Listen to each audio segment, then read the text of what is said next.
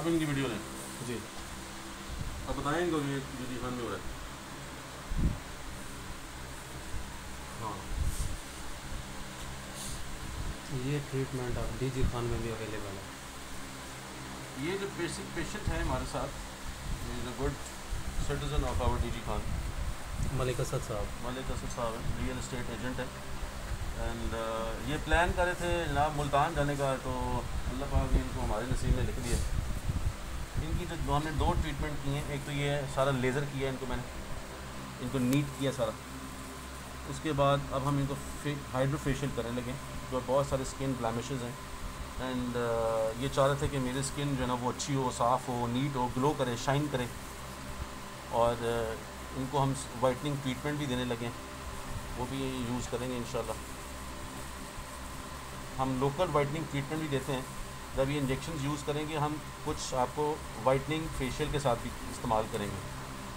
उसका फ़ायदा आपको डबल होगा एक आपको वेन से ब्लड से भी फ़ायदा होगा दूसरा लोकल भी इफ़ेक्ट होगा। अभी आप जो देख रहे हैं ये क्लिनजिंग एजेंट है। इंजेक्शन सर फ़ौरन भी स्टार्ट कर सकते हैं या गैप रखना पड़ेगा कुछ फ़ौरन फ़ौरन। अच्छा मर्ज़ी है डिपेंड करता है। जी।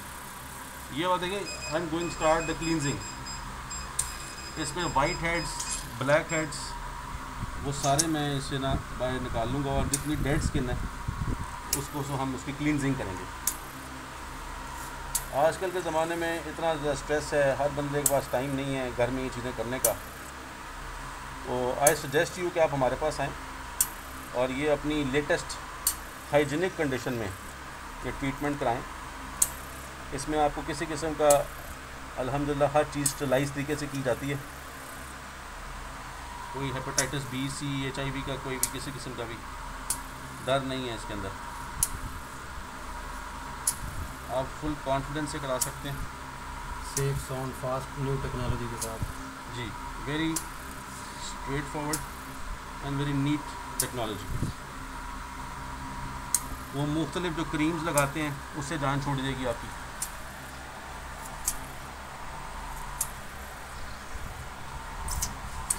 तो जिनको भाइयों को बहनों को जो मसला है ऐसा ब्लैमिशेस का स्किन डल है ओपन पोर्स हैं स्किन साफ़ नहीं है शाइन नहीं करती सुबह नहाने के बाद क्रीम लगाने के बाद भी आपकी स्किन फ्रेश नहीं होती।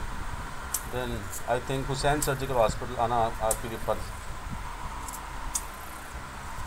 जो कि डी जी खान में वाक़ है। रिज़ल्ट सामने है। हाँ जी, वीडियो देख बन रहे रही हैं। ये आप देख रहे हैं कि कितना नीट एंड क्लीन हो रही है स्किन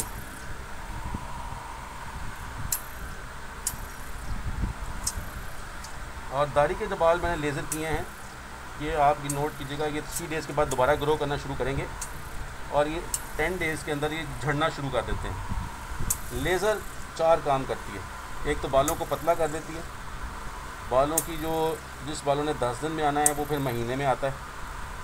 स्किन की पिगमेंटेशन जो है ना, वो ठीक हो जाती है ग्रीन पिगमेंट ख़त्म हो जाता है स्किन सॉफ्ट हो जाती है स्मूथ हो जाती है और थर्टी परसेंट गारंटी है कि बाल लॉस हो जाएगा।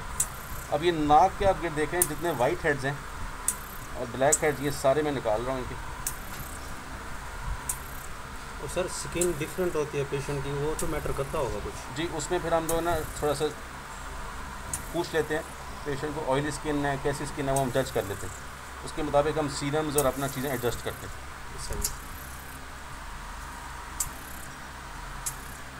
और कोई साइड इफ़ेक्ट नहीं है इसके। जी अल्हम्दुलिल्लाह। अभी तक तो हमारे सारे पेशेंट्स को कोई साइड इफ़ेक्ट नहीं आया। बिला धड़क आप सोचिए समझिए आप हमारे पास आएँ और अपना मशवरा लें अपनी डिसीज़न लें। टाइम बचाएँ और डी जी खान से बाहर जाने की ज़रूरत नहीं है। जी डी जी खान से बाहर जाने की ज़रूरत ही नहीं है तो। मैं खुद I am basically Lahore based तो हमारा ये सेटअप है यहाँ पे डी जी हान में हमने ओपन किया। मैं लाहौर से भी क्वालिफाइड हूँ F C P S plastic surgery cosmetology है डेनमार्क से भी किया है। एम आर सी एस भी मेरे पास है जो कि इंग्लैंड की डिग्री है। और मैंने यू एस ए से भी काफ़ी फोरम्स अटेंड किए हैं कॉन्फ्रेंसेस जिसमें ये चीज़ें शो की जाती हैं। तो सर स्किन के कोई प्रॉब्लम्स आ जाएँ वो भी फिर आपसे बना जी एनी टाइम एनी टाइम अब आप देख रहे हैं इनकी स्किन को भी ये छोटे छोटे यानी यू सी ये छोटे छोटे इनके ना हल्के हल्के से स्पॉट स्पॉट्स हैं। ये स्पॉट्स भी हम इनके रिमूव करेंगे। वो ट्रीटमेंट होती है उसको हम कहते हैं नियॉन प्लाज्मा ट्रीटमेंट ये बिल्कुल स्किन ऐसे साफ़ हो जाएगी जैसे किसी ने कभी ये वैसे वर्जिन स्किन होगी ये एजिंग एजिंग चेंजेस हैं। और जो स्किन में मुख्तलिफ़ स्पॉट्स की वजह से जो पार्टीशन नज़र आ रही हैं ये ख़त्म हो जाएँगे। जी आहिस्ता आहिस्ता ये भी सीखते हैं ये पहला स्टेप कंप्लीट हुआ। आप स्टेप के बाद देखें स्किन आपको कितनी फ्रेश नज़र आ रही बिल्कुल। आप देख रहे हैं? जी फ़र्क है। माशा नूरानी चेहरा हो गया। थैंक यू असल भी थैंक यू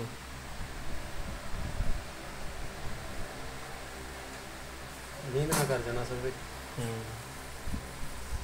ये अब हमारा सेकंड स्टेप है। That is peeling chemical peel करते हैं सैलिसाइलिक एसिड है। सर ये थर्ड स्टेप ना हुआ है क्योंकि पहले हमने लेज़र किया था। वो बेसिकली सेपरेट प्रोसीजर था। अच्छा ये हाइड्रोफेशियल के कंपोनेंट्स हैं। ठीक है। पहले में हमने क्लिनजिंग की है अब हम इसको पील करेंगे। ठीक। ये पीलिंग एजेंट है इसको थोड़ा लगाएँगे इस चेहरे पे ताकि हमारी जितनी भी डेड स्किन है वो इसको पील कर देगा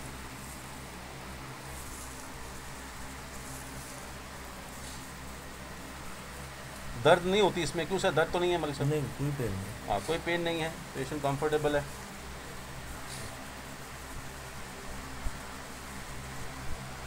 आँखों में लग सकता है। खूबसूरत लगना हर इंसान का फ़र्ज़ उसका अपनी बॉडी के मुताबिक है। उसको मेंटेन करना चाहिए इंसान को। बिल्कुल। और जो इंसान ये समझता है कि वो बूढ़ा हो रहा है या वो वो उसके अपने अंदर वाली बात होती है। जब वो इस चीज़ को एक्सेप्ट कर लेगा कि वो नहीं है तो ठीक है उसकी बॉडी वैसे ही रिस्पॉन्स करेगी।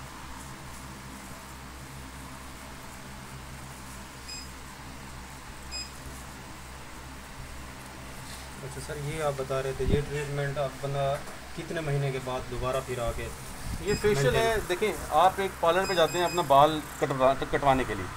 कुछ लोग दो महीने बाद बाल कटवाते हैं कुछ लोग महीने बाद बाल कटवा लेते हैं। तो ये मेंटेनेंस आप महीने बाद भी करा सकते हैं टू मंथ्स के बाद भी करा सकते हैं।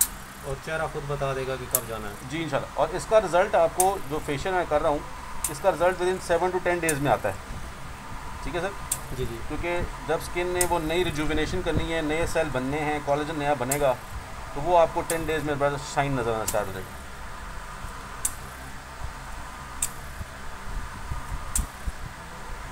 रिज़ल्ट गेन करना और सर दोबारा मेंटेन के लिए आना, ये डिपेंड तो करता होगा इंडोर और आउटडोर एक्टिविटीज़ बनने की। अगर इंसान मेंटेन करता रहे और हमारी हदायत में मुकम्मल फॉलो करे, जैसे सन प्रोटेक्शन है बाहर जाए काला कपड़ा ना पहने चेहरे पे, उसे अवॉइड करे, क्योंकि काला कपड़ा जो है वो अल्ट्रा वायलेट रेज को अब्जॉर्ब